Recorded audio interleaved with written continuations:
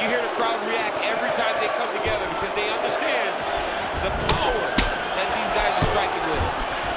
It looked like it did stun him a little bit. He needs to start looking. Wow! Connection by there. He needs to get on his bicycle.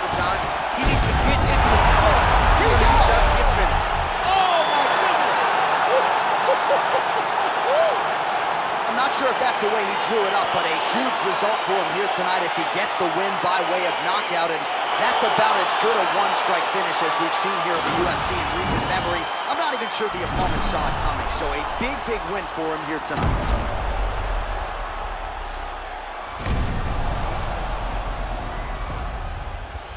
So on the sport's biggest stage, he comes up large, the baddest man on the planet.